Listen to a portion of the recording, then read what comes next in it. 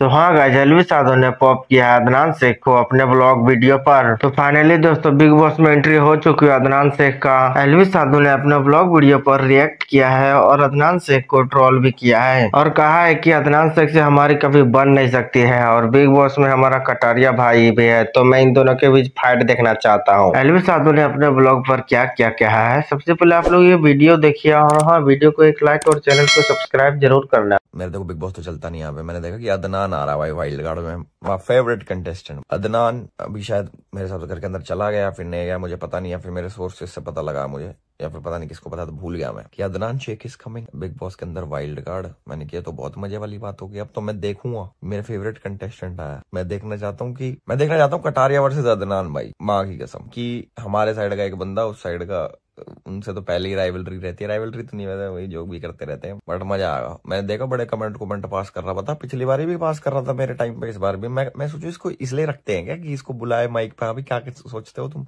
ये बताया, जी जी सोचा चल जाओ अब। तो अदनान भाई, मैं तो अच्छा खुश हूँ कि भाई ये एक ऐसा जना आया जो, जिससे बनी नहीं सकती कभी अपनी ना, कि कभी बनी नहीं सकती, बनी नहीं पाएगी ज़िंदगी में एज ए बंदो पिछली बार इसने मेरे को बोला था कि, एलविश के लिए मैं चूड़िया लेके आया हूँ। मिली नहीं मुझे अभी तक झूठ बोला ना, अभी तक नहीं मिली मुझे चूड़ी। कोई बात, हम दे देंगे तुम्हें। असली में दे देंगे भाई, खुश रह